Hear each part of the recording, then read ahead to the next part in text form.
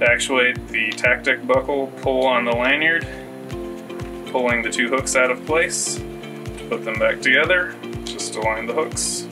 It can also be done without the lanyard by pulling on the tab and pulling out. You can also seat this anywhere on there and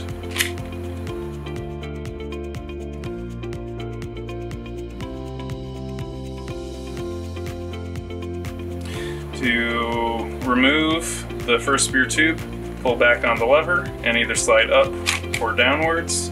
To reattach it, index the top of the tube with the hole and slide down until it clicks.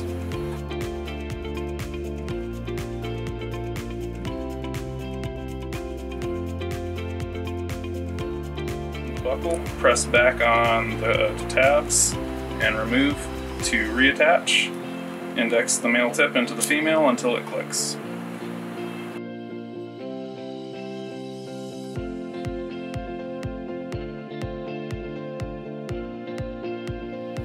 The fixed M3 cummerbund reduces the loss of MOLLE real estate with a buckle while maintaining the ability to release with a maritime cable.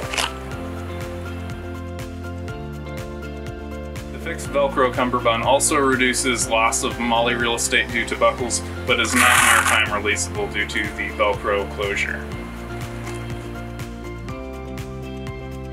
This is our National Molding Quad Release buckle for use with our cummerbunds. It works like any other side release buckle,